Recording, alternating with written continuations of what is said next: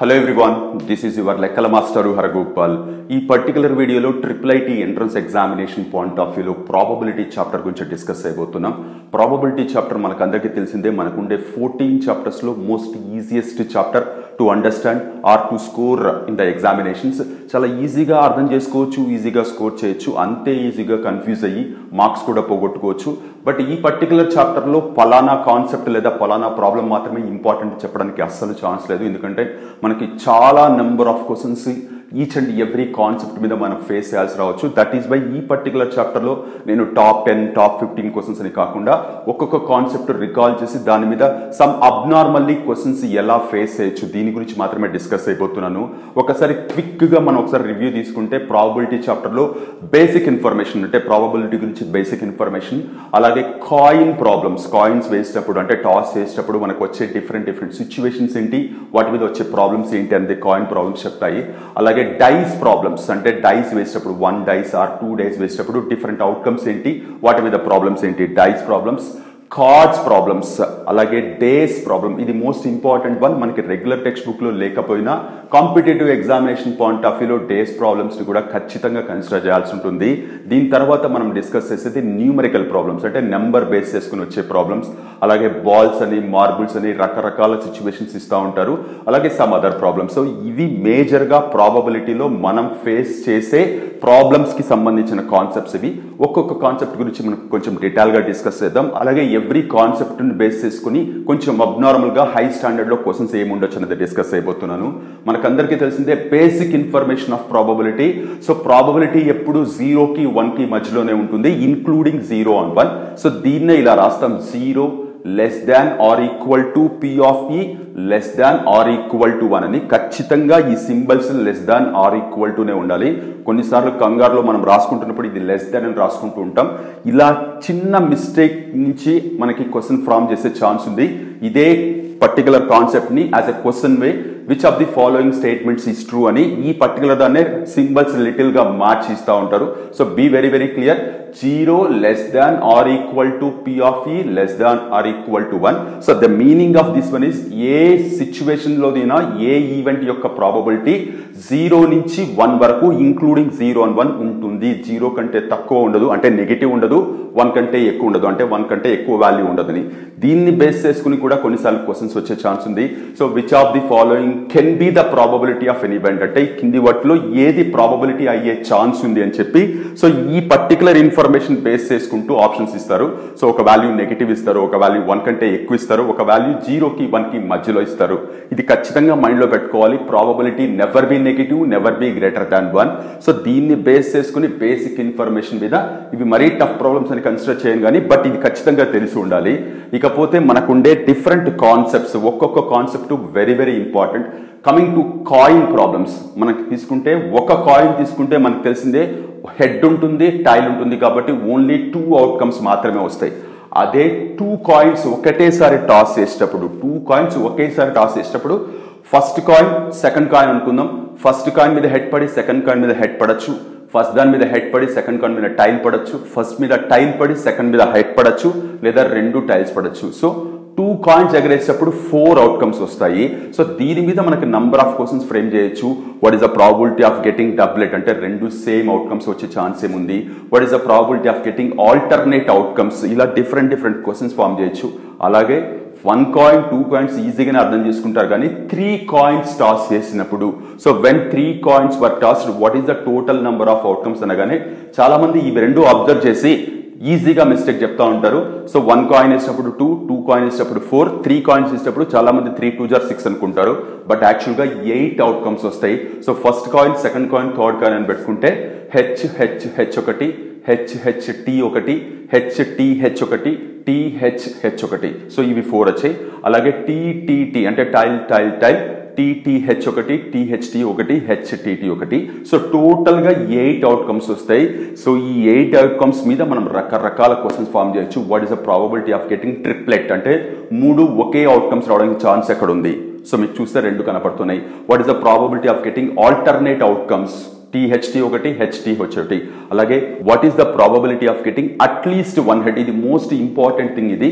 At least అన్నప్పుడు minimum one head అని. Minimum one head అంటే ఈ సిచ్యువేషన్లో వన్ హెడ్ ఉండే సిచ్యువేషన్ ఉంది టూ హెడ్స్ ఉండే సిచ్యువేషన్ ఉంది త్రీ హెడ్స్ ఉండే సిచ్యువేషన్ ఉంది. అసలు హెడ్డే లేని సిచ్యువేషన్ కూడా ఉంది. అట్లీస్ట్ వన్ హెడ్ అన్నప్పుడు ఖచ్చితంగా మనం వన్ దానిపైన టూ దానిపైన త్రీ హెడ్స్ని కూడా కన్సిడర్ చేయాల్సి ఉంటుంది.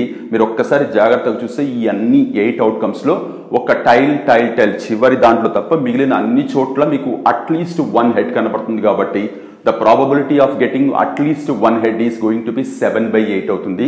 చాలా ఇంపార్టెంట్ వర్డ్ ఇది. అట్లీస్ట్ అలాగే అట్మోస్ట్ అని కూడా ఒక వర్డ్ అడుగుతూ ఉంటారు.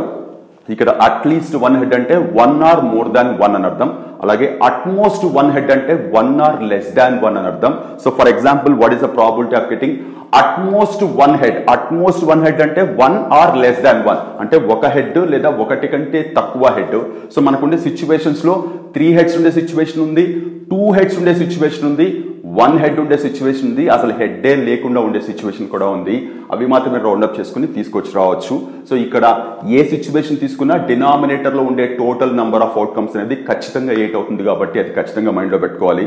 So my dear children coin problems మీద ఇవి ఇంపార్టెంట్ అని మాత్రమే కన్సిడర్ చేస్తున్నాం తప్ప నెంబర్ ఆఫ్ క్వశ్చన్స్ అయితే చాలా క్రియేట్ చేయొచ్చు. ఈ వర్డ్స్ బాగా గుర్తుపెట్టుకోండి. At least at most at least అంటే మినిమం అని అర్థం అట్మోస్ట్ అంటే మాక్సిమం అని అర్థం.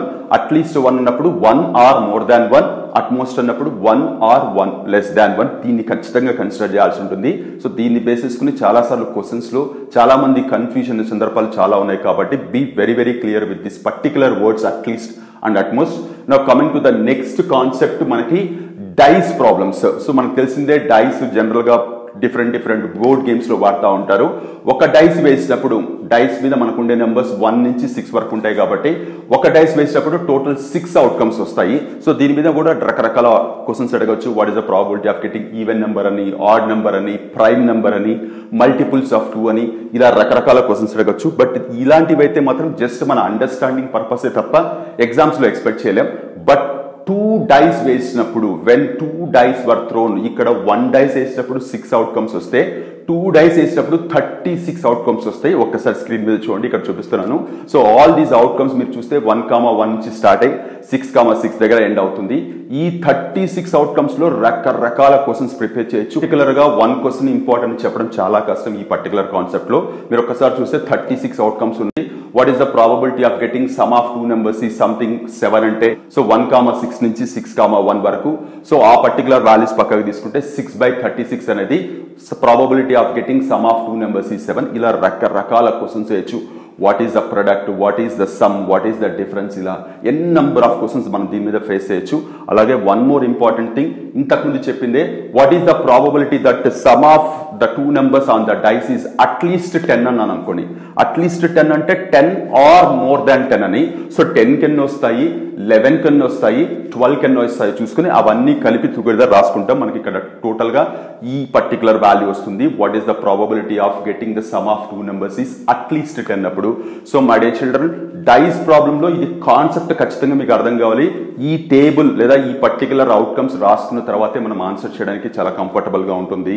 సో ఎగ్జామ్లో డైస్ ప్రాబ్లం కనుక వస్తే ఖచ్చితంగా ఎస్పెషల్లీ టూ డైస్ ప్రాబ్లం కనుక వస్తే ఇవి రాసుకున్న తర్వాత మీరు ఆన్సర్ చేయడానికి ట్రై చేయండి. So this is all about dice problem నా coming to the cards problem ఇది కూడా చాలా ఇంపార్టెంట్ ప్లేయింగ్ కార్డ్స్ మీద రకరకాల క్వశ్చన్స్ ఎక్స్పెక్ట్ చేయొచ్చు. సో మనకు తెలిసిందే టోటల్ ప్లేయింగ్ కార్డ్స్ని మొత్తం ఒక డెక్ అని పిలుస్తూ ఉంటారు. డెక్లో టోటల్గా ఫిఫ్టీ టూ కార్డ్స్ ఉంటాయి. ఈ ఫిఫ్టీ టూ కార్డ్స్ టూ కలర్స్లో డివైడ్ అవుతాయి. Red colour cards and black colour cards అని. సో దీని మీద కూడా క్వశ్చన్స్ అడగచ్చు. What is the probability of getting red colour card అంటే twenty six by fifty two అవుతుంది. బ్లాక్ కలర్ కార్డ్ అంటే కూడా twenty six by fifty two అవుతుంది. But every coloured cards again two different సెట్స్గా divide అయి ఉంటాయి. So ఇక్కడ red colour card hearts and డైమండ్స్గా divide అయి ఉంటాయి. క్లియర్గా ఈ సింబల్స్ చూడండి. అలాగే బ్లాక్ కలర్ కార్డ్స్ కూడా స్పేడ్స్ అండ్ క్లబ్స్ అని పిలుస్తాము. సో టోటల్గా ఉండే fifty two cards colour wise two పార్ట్స్గా డివైడ్ అవుతాయి. Every colour depends on symbol again two పార్ట్స్గా డివైడ్ అవుతాయి. So hearts diamonds spades clubs అని ఈచ్ సెట్లో లేదా ఈచ్ సూట్లో టోటల్ థర్టీన్ కార్డ్స్ ఉంటాయి. ఏ నుంచి స్టార్ట్ అయితే A two three four five six seven eight nine ten king queen jack అని పిలుస్తాం. సో టోటల్గా థర్టీన్ కార్డ్స్ ఇక్కడ కూడా థర్టీన్ కార్డ్స్ ఈ బ్లాక్ దగ్గర కూడా థర్టీన్ కార్డ్స్ మీరు చూస్తే ఫోర్ డిఫరెంట్ సింబల్స్తో టూ డిఫరెంట్ కలర్స్తో ఉండే టోటల్ ఫిఫ్టీ టూ కార్డ్స్ ఇవి. ఏ క్వశ్చన్ అడిగినా సరే డినామినేటర్లో ఫిఫ్టీ టూ ఉంటుంది. What is the probability of getting red colour card అన్నా బ్లాక్ కలర్ కార్డ్ అన్నా హార్ట్స్ అన్నా డైమండ్స్ అన్నా లేదంటే స్పేడ్స్ అన్నా క్లబ్స్ అన్నా? ఇది పర్ఫెక్ట్గా మీకు ఐడియా ఉంటుంది మీరు ఆన్సర్ చేయగలరు. ఎస్పెషల్లీ ఈ చివర్లో ఉండే కింగ్ క్వీన్ జాక్ ఏవైతే ఉన్నాయో వీటిని ఫేస్ కార్డ్స్ అని పిలుస్తాం రిమైనింగ్ కార్డ్స్ని నెంబర్ కార్డ్స్ అని పిలుస్తాం. What is the probability of getting face card అంటే మనకి ట్వెల్వ్ కార్డ్స్ వస్తాయి కాబట్టి four three jar twelve twelve by fifty two. What is the probability of getting number card అంటే forty by fifty two? What is the probability of getting even number card అంటే even number pickup చేసుకుంటాం? What is the probability of getting odd number card అంటే odd number of cards prepare చేసుకుంటాం? అలాగే what is the probability of getting red king అంటే red కలర్లో kings రెండు ఉన్నాయి. What is the probability of getting black queen అంటే రెండు ఉన్నాయి what is the probability of getting red face cards total six వస్తాయి. బ్లాక్ ఫేస్ కార్డ్స్ సిక్స్ వస్తాయి. ఇలా ఎన్ నంబర్ ఆఫ్ క్వశ్చన్స్ మీరు ఫేస్ చేయొచ్చు. ఖచ్చితంగా ఈ ఎంటైర్ రిలేషన్ లేదా ఈ entire segregation of all the fifty two cards మీకు ఖచ్చితంగా ఐడియా ఉండాలి. సో దీని మీద ఎక్స్పెక్టెడ్ క్వశ్చన్స్ అంటూ ఏమీ లేవు. ఖచ్చితంగా ఒక ప్రాబ్లం ఆన్ కార్డ్స్ అయితే డెఫినెట్గా మీరు ఎక్స్పెక్ట్ చేయొచ్చు ట్రిపుల్ ఐటీ ఎంట్రన్స్ ఎగ్జామినేషన్లో సో ఇది క్లియర్గా ఐడియా ఉంటేనే ఎలాంటి ప్రాబ్లం అయినా మనం ఆన్సర్ చేయగలం. So my dear children be very very clear with this concept డెఫినెట్గా నా ఎక్స్పెక్టేషన్ కార్డ్స్ ప్రాబ్లం నుంచి అయితే వన్ ప్రాబ్లం డెఫినెట్గా మీరు ఎక్స్పెక్ట్ చేయొచ్చు in triple IT entrance exam so this is what about cards problem ఇకపోతే డేస్ ప్రాబ్లం అని చెప్పాను. మనకి ఇది టెక్స్ట్ బుక్లో ఎక్కడ మెన్షన్ చేయబడలేదు కానీ వెరీ వెరీ ఇంపార్టెంట్ థింగ్ ఒకసారి క్లియర్గా జాగ్రత్తగా వినండి. మనకి ఒక నార్మల్ ఇయర్లో నార్మల్ ఇయర్ అంటే నాన్ లీప్ ఇయర్లో three hundred and sixty five days ఉంటాయని తెలుసు. సో ఈ three hundred and sixty five డేస్లో మనకి ఇట్స్లో మనకి ట్వెల్వ్ మంత్స్ ఉంటాయి. ఆ విషయం పక్కకు పెట్టి వీక్స్ క్యాలిక్యులేట్ చేస్తే three hundred and sixty five సెవెన్తో divide చేస్తే ఫిఫ్టీ టూ వీక్స్ వస్తుంది రిమైండర్ వన్ వస్తుంది. What you mean by getting remainder one remainder one వచ్చిందంటే అర్థం ఏంటి? ఫిఫ్టీ టూ కంప్లీట్ వీక్స్ వచ్చి ఒక రోజు మిగిలిపోయిందని. ఫిఫ్టీ టూ కంప్లీట్ వీక్స్ రావడం అంటే మనకి వీక్లో ఉండే Sunday Monday Tuesday Wednesday Thursday Friday Saturday ఇవన్నీ ఫిఫ్టీ టూ టైమ్స్ ఖచ్చితంగా వచ్చుంటాయి. ఈ ఎక్స్ట్రా డే ఏదైతే ఉందో ఒకవేళ అది సండే అయితే ఆ సండే ఫిఫ్టీ థర్డ్ సండే అవుతుంది. లేదా మండే అయితే ఫిఫ్టీ థర్డ్ మండే అవుతుంది. ఇలా పర్టికులర్ డే ఏ రోజైతే అవుతుందో అది ఫిఫ్టీ థర్డ్ టైం వచ్చినట్టు. ఇక్కడ ఈ ఆడ్ డే అంటే మనం three hundred and sixty five సెవెన్తో multiply చేస్తే ఫిఫ్టీ టూ అవుతుంది ప్లస్ వన్ దీన్ని ఆడ్ డే అని పిలుస్తాం. నార్మల్ ఇయర్లో అంటే నాన్ లీప్ ఇయర్లో వన్ ఆడ్ డే ఉంటుంది. ఈ వన్ ఆడ్ డే సండే కావచ్చు మండే కావచ్చు ట్యూస్డే వెనస్డే థర్స్డే ఫ్రైడే సాటర్డేలో ఏదైనా కావచ్చు ఇక్కడ మోస్ట్ ఇంపార్టెంట్ థింగ్ ఏంటంటే ఈ పర్టికులర్ డే ఏదైతే అవుతుందో అది ఫిఫ్టీ థర్డ్ టైం వచ్చినట్టు కాబట్టి క్వశ్చన్స్ ఇలా అడుగుతారు what is the probability of getting fifty three Sundays in a non leap year fifty three Sundays రావాలంటే ఈ చివరి డే సండే కావాలి. ఈ చివరి డే సండే కావడానికి ఎన్ని ఛాన్సెస్ ఉన్నాయి? ఇక్కడ టోటల్ సెవెన్లో ఒక్క ఛాన్స్ మాత్రమే అంటే ఒక్కసారి మాత్రమే సండే ఉంది కాబట్టి. So probability of getting fifty three Sundays is going to be one by seven అవుతుంది. బట్ ఇక్కడ most important thing what is the probability of getting fifty two Sundays in a non leap year అంటారు. చాలా మంది fifty two Sundays ఏంటి? Fifty three Sundays కాబో కాబోలు అనుకొని దీన్ని వన్ బై సెవెన్ రాస్తా ఉంటారు. But be clear fifty two Sundays డెఫినెట్గా వస్తాయి ఏ ఇయర్లో అయినా. సో ఆన్సర్ వన్ అవుతుంది. Be very very clear with this one. Non leap ఇయర్లో fifty three Sundays and fifty three Mondays రావడానికి అయితే ఛాన్స్ లేదు. అప్పుడు అది జీరో బై సెవెన్ అవుతుంది. సో వన్ ఆడ్ డే వచ్చినప్పుడు నాన్ లీప్ ఇయర్లో ఇది సిచ్యువేషన్. అలాగే లీప్ ఇయర్ తీసుకుంటే three hundred and sixty six days ఉంటాయన్న విషయం మనకు తెలిసిందే. So three hundred and sixty సిక్స్ని సెవెన్తో డివైడ్ చేస్తే fifty two weeks plus two odd days వస్తాయి. ఈ టూ ఆర్ డేస్ ఏమవుతాయి? సండే మండే కావచ్చు మండే ట్యూస్డే కావచ్చు ట్యూస్డే వెనస్డే కావచ్చు Wednesday Thursday Thursday Friday Friday Saturday Saturday Sunday ఇలా సెవెన్ డిఫరెంట్ కాంబినేషన్స్ వస్తాయి. ఇప్పుడు ఫిఫ్టీ త్రీ సండేస్ రావడానికి ఛాన్స్ ఏంటంటే ఇక్కడ కనపడుతున్న కాంబినేషన్స్లో టూ టైమ్స్ మీకు సండే కనపడుతుంది కాబట్టి probability of getting fifty three Sundays is going to be two by seven అవుతుంది. ఫిఫ్టీ త్రీ మండేస్ కూడా టూ బై సెవెన్ అవుతుంది. What is the probability of getting fifty three Sundays and fifty three Mondays అని అడిగారు అనుకోండి. అంటే Sunday Monday ఖచ్చితంగా పక్క పక్కనే ఉండాలి కాబట్టి మీరు చూస్తే కేవలం ఒక్క చోట మాత్రమే మీకు సండే మండే కనపడుతుంది. So answer one by seven అవుతుంది. అలాగే what is the probability of getting fifty three Sundays and fifty three Wednesdays అన్నారు అనుకోండి. డెఫినెట్గా ఈ ఛాన్స్ అయితే లేదు. ఎందుకంటే సండే తర్వాత ఖచ్చితంగా మండేనే వస్తుంది లేదంటే దానికంటే ముందు సాటర్డే వస్తుంది. కానీ వెనస్డే వచ్చే ఛాన్స్ లేదు కాబట్టి so probability of getting fifty three Sundays and fifty three Wednesdays అని ఇస్తే జీరో బై సెవెన్ అవుతుంది. సో డేస్ ప్రాబ్లం మీద ఇది క్లియర్గా మీరు అర్థం చేసుకోవాల్సిన విషయం. మనకి టెక్స్ట్ బుక్లో లేదు కాబట్టి కాస్త కన్ఫ్యూజింగ్గానే ఉండొచ్చు. బట్ కాస్త క్లియర్గా అర్థం చేసుకుంటే దీని మీద చాలా ప్రాబ్లమ్స్ మీరు ఎక్స్పెక్ట్ చేయొచ్చు. So my children this is also one of the important concept దీని మీద ఎక్స్పెక్ట్ చేయొచ్చా లేదన్నది నేను చెప్పలేను కానీ ఇది కూడా one of the concept under probability చాలా చోట్ల కాంపిటేటివ్ ఎగ్జామ్స్లో దీని మీద ప్రాబ్లమ్స్ రావడం చాలా చోట్ల గమనించే ఉంటాం. నా coming to the another important topic under probability number problems number problems ఏంటని రావచ్చు. మనకి రెగ్యులర్గా చూసే నెంబర్స్లో చాలా క్వశ్చన్స్ మీరు ఎక్స్పెక్ట్ చేయొచ్చు. ఫర్ ఎగ్జాంపుల్ ఒకసారి ఈ క్వశ్చన్ చూడండి. కాస్త డిఫరెంట్గా డెఫినెట్గా డెఫినెట్గా మిస్టేక్ చేసే ప్రాబ్లం ఇది. From the numbers five to fifty what is the probability of getting perfect square చాలా మంది ఈ పర్టికులర్ రేంజ్ ఆఫ్ నెంబర్స్ ఇచ్చినప్పుడు టోటల్ నంబర్ ఆఫ్ అవుట్కమ్స్ తప్పు చేస్తూ ఉంటారు. ఫైవ్ టు ఫిఫ్టీ అని అనగానే చాలా మంది టోటల్ ఫార్టీ ఫైవ్ నెంబర్స్ ఉన్నాయి అనుకుంటారు but be clear including five up to fifty అంటే మనకి లేని numbers one two three four మాత్రమే. సో ఫార్టీ సిక్స్ నెంబర్స్ టోటల్గా ఉన్నాయి total number of outcomes forty six అవుతాయి now from this forty six numbers what is the probability of getting perfect square అని అడుగుతున్నారు. So one నుంచి fifty వరకు మనకి seven perfect squares ఉన్నాయి. బట్ మనం ఒమిట్ చేసిన వన్ టూ త్రీ ఫోర్ నెంబర్స్లో వన్ అనేది పర్ఫెక్ట్ స్క్వేరే ఫోర్ అనేది కూడా పర్ఫెక్ట్ స్క్వేరే కాబట్టి ఇక మిగిలిపోయిన పర్ఫెక్ట్ స్క్వేర్స్ జస్ట్ ఫైవ్ ఉంటాయి కాబట్టి answer five by forty six అవుతుంది. చాలా మంది పర్ఫెక్ట్ స్క్వేర్ దగ్గర తప్పు చేస్తారు.